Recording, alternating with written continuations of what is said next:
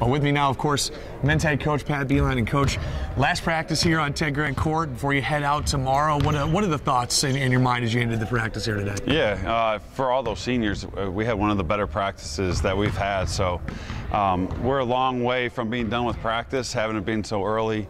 Uh, we'll have a great practice tomorrow in, in, Sioux Falls as well as Sunday and Monday. So we got a long way to go uh, still, but it's exciting. I know these guys are excited to get on the on the bus tomorrow to head to the airport and you know get to South Dakota. Well, the anticipation's got to be palpable to say the least in, in, the locker room with you guys and you know how are you managing that that sort of anticipation going into this weekend got all sorts of activities to do and then the game on tuesday of course so how, how you manage it? yeah it? we're just going to have fun and embrace it like we've done all season and, and not overthink in the end it's it's basketball the ball's going to go up and we're going to go out there and execute offensively and defensively so uh, all the stuff leading up to it it's great for these guys and the coaching staff to experience that uh, because this stuff just doesn't happen in college sports, especially in basketball. So we're going to take every opportunity to enjoy it.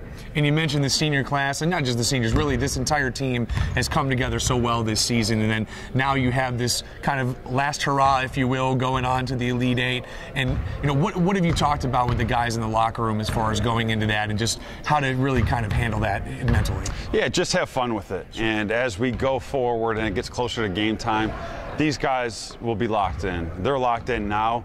I actually wanted to have them enjoy it a little bit more than they probably are. So I think it'll be a rea- reality when we land in South Dakota. We check in the hotel and, you know, everything's going on. So uh, what an excite- exciting time. Uh, and I'm looking forward to going to battle with these guys. Well, we're excited to see you guys go into battle, and we're excited for everything this weekend. Of course, you can always pay attention to LeMoyneDolphins.com, but go to NCAA.com. You can watch these guys play on Tuesday and keep up with the Twitter page because we'll let you know all the happenings in South Dakota. Coach, good luck, and good luck to the team. Great. Thanks, Michael.